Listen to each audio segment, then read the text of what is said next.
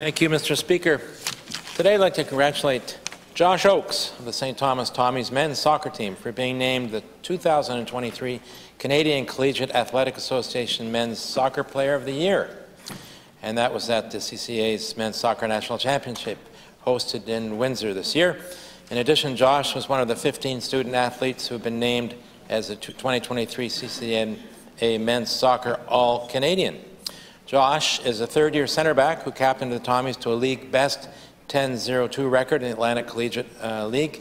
Remarkably, as a defender, Josh led the conference in scoring 13 goals and 26 points, while also regulating Stu's backline for nine shutouts this season.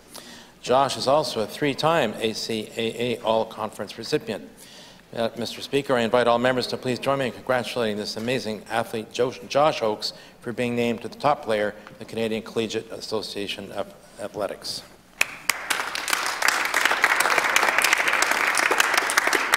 The Minister of Post-Secondary Education, Training and